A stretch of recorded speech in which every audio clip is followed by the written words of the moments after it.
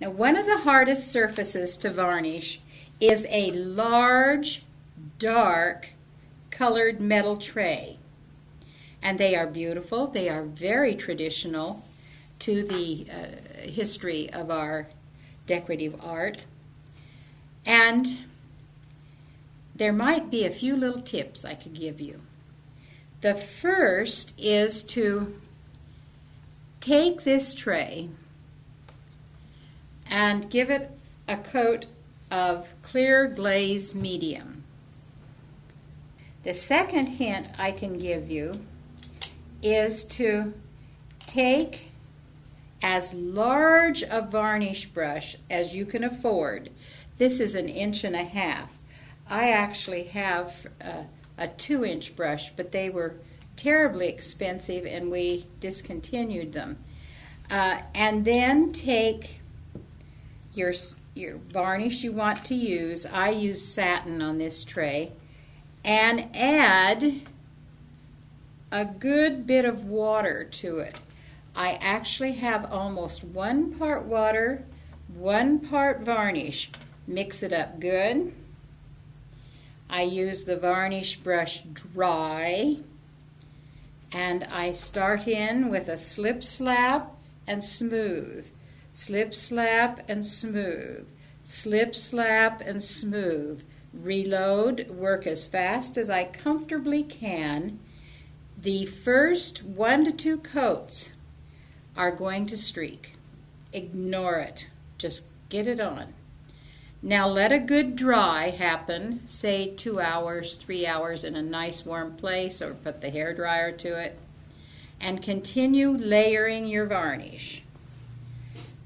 Uh, by about the fourth coat on a large black tray, uh, you will be getting a nice finish. Should you have any trouble, remember this water plus varnish, even up to one to one and you could put a little flow medium with that or retarder medium. Work in the cool of the morning out of any direct airflow, you know, no air conditioning, no heat.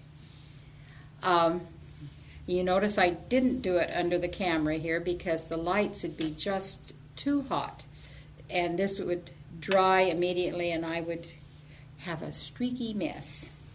So um, remember, as large a brush as you can, thin your paint, your uh, varnish with water. You can add flow medium. You could add retarder. So how much? I would do uh, maybe like one to one water and varnish, and then um, to about this much varnish which should be enough to do the tray. This is a little two ounce container, so I have almost an ounce in there. I would add a tablespoon of um, flow medium or about a teaspoon of retarder to about one ounce of product. Stir it good, and by the time you have four or five coats of that, you have uh, uh, you should be having a beautiful, beautiful finish. At that time, if you still are experiencing a little streaking, I would let it dry overnight and varnish it in the morning again, one more coat, and that should do it. The varnish brush I'm using is a synthetic. It is a very fine synthetic and it tapers to a nice edge. It's not a blunt cut edge. I think that's all important too. When you have finished, let it dry naturally. Don't play with it. Don't move it around because that film is tender and you can mark it or start it peeling but within a day and a half, two days, you can use it uh, with confidence.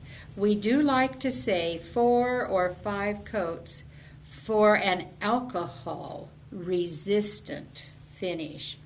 And you have to remember that that alcohol resistance develops as the varnish cures.